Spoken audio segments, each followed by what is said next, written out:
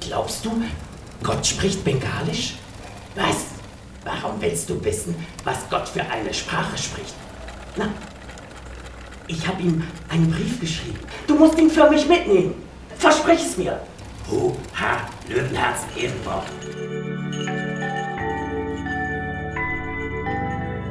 Ich habe euch doch von diesem Schulprojekt erzählt. Wir haben entschieden, Sachspenden nach Senegal in Afrika zu schicken. Du könntest doch deine alten Spielsachen vom Dachboden spenden. Ja, oder diesen Löwen. Der tut's doch noch. Ich bin im Senegal. Nicht immer zu a Baby. Wie heißt du? Piano.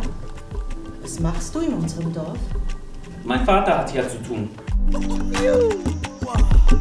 zu mir, zu mir. Den wolltest du doch auf keinen Fall tauschen. Tue ich auch nicht. Ich will ihn dir schenken. Mein Vater zum Beispiel verkauft den Menschen Hoffnung. Hoffnung auf ein besseres Leben im Ausland.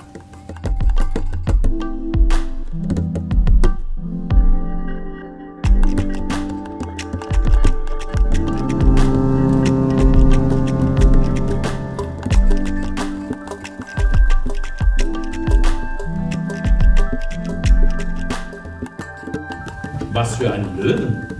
Den habe ich mal gefunden am Meer. Hm. Er ist eine Art Glücksbringer, obwohl er nicht danach aussieht.